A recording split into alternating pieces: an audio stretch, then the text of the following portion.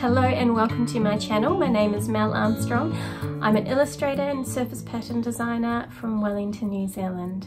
Now I've been getting a lot of requests from my Instagram followers on how I put together my reels. These are the reels that I put on there that have uh, time lapses from my Procreate um, drawings. So each day I like to sit down at the beginning of the day and just doodle in my on my iPad in Procreate for about 20 minutes. These often uh, turn into little patterns and then I put those time lapses into a reel and post them on Instagram. So today I'm going to show you how I do that. Now I edit all my videos in Adobe Premiere Pro um, but you could do this in any video editing software. Um, it doesn't really matter. Just use what you're comfortable with.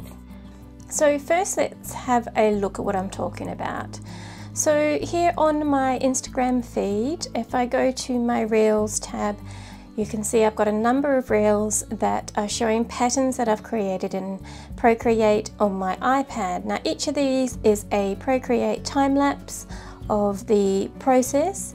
Each one is about 30 seconds long and shows pretty much from start to end. So let's have a just jump in and have a look at this.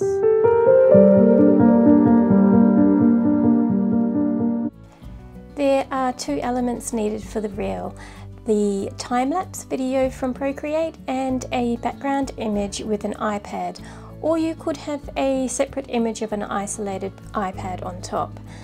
The iPad will have the screen area cut out so that the time-lapse video can be placed underneath and I'll show you how to do that shortly.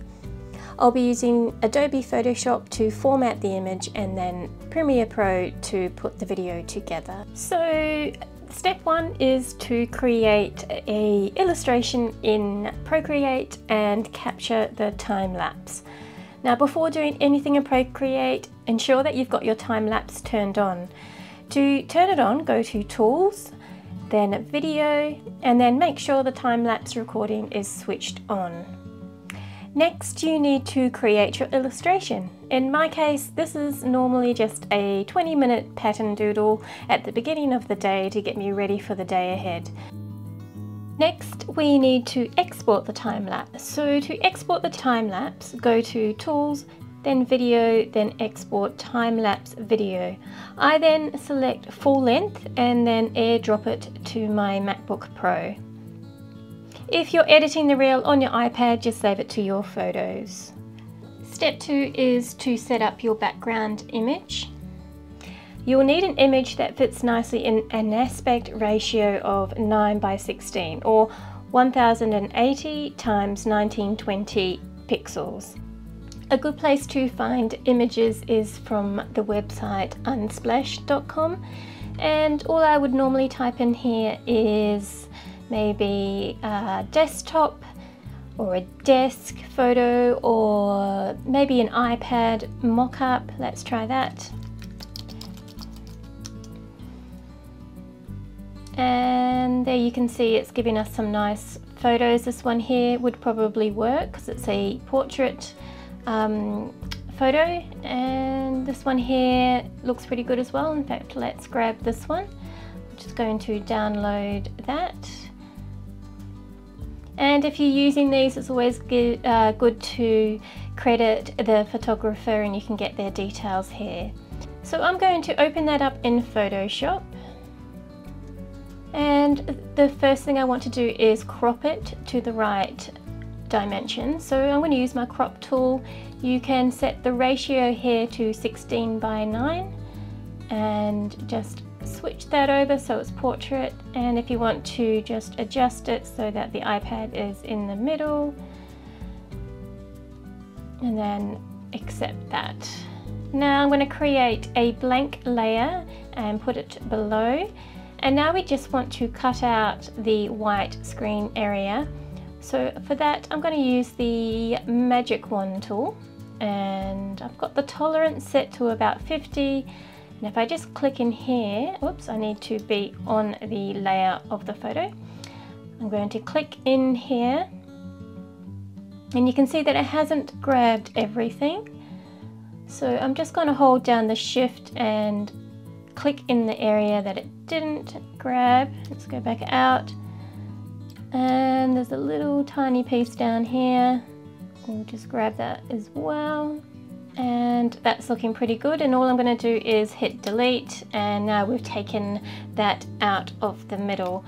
So next I just want to save that as a PNG. So I'm going to go to File, Export and Quick Export as PNG.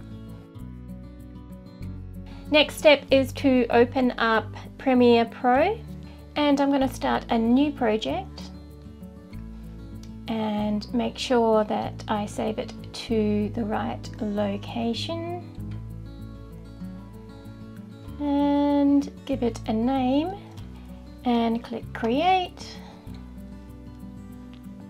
And I want to import my media so I'm going to open up my folder where I've got my Procreate uh, time-lapse saved, my background image, and I've also got an image of the final pattern. So I'm just going to grab all of those and drag them into my media library. And then I want to create a sequence. You want to create a sequence that is of the right ratio for a reel. So I have one already set up down here a 9 by 16 vertical. But if you haven't got one set up, all you need to do is uh, go to settings and then adjust the frame size.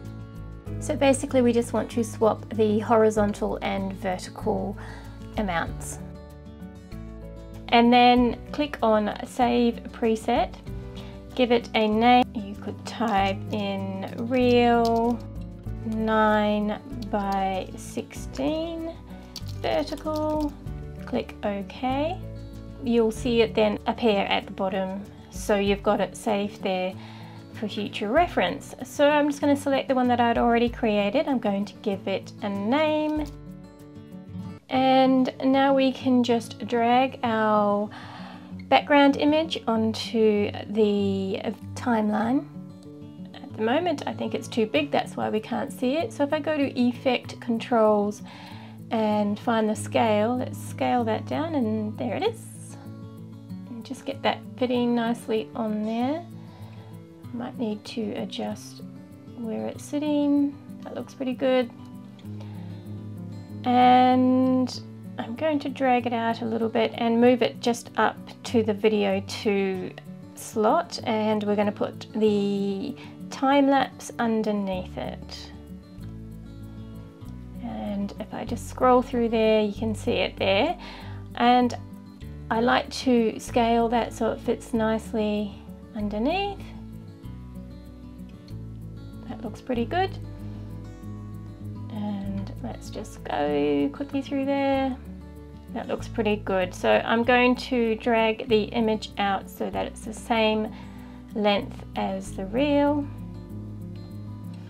And one last thing that I like to do as well is add the pattern to the end with a little transition. So I'm going to grab my pattern and place it at the end.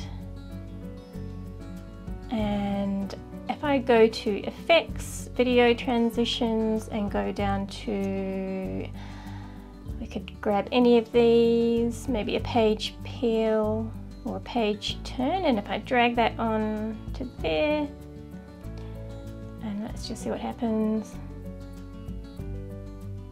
Like that and I think I also want to add some scale movement on there as well. So I'm going to just increase that so I can see what I'm doing.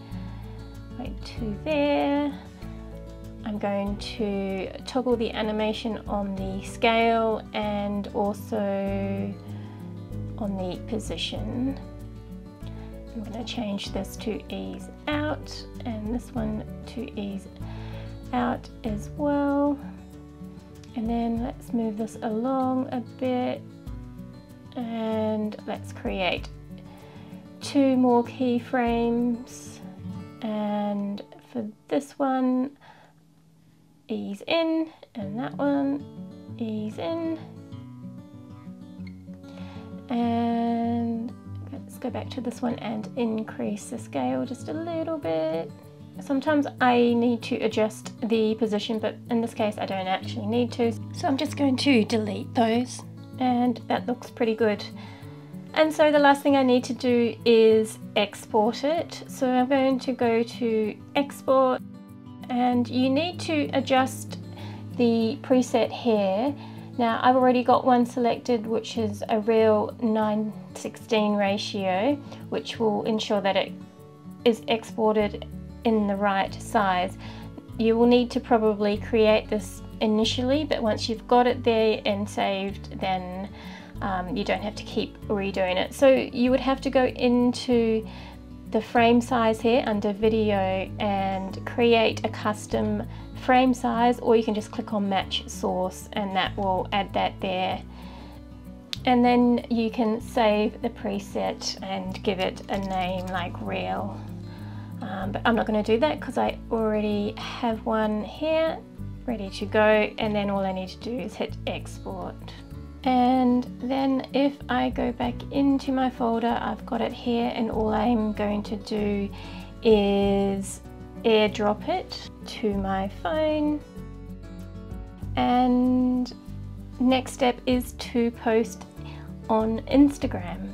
And we're back on Instagram and I'm going to add my reel. So to add a reel I'm going to create and then reel click on the plus button and insert my reel. And click add. Next.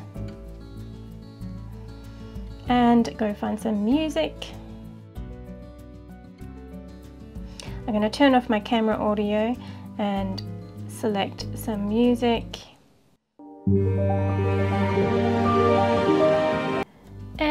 then once I'm happy I can select that and just test it out and then all we need to do is add a caption and share it. And that's it. You now have a template that you can just swap out the time lapse in so you don't have to stress too much about putting together a complicated reel. Now if you do manage to create one using this method, tag me on Instagram so I can see it forget to like and subscribe this channel so that you know when I post the next video. Keep creating, see you later.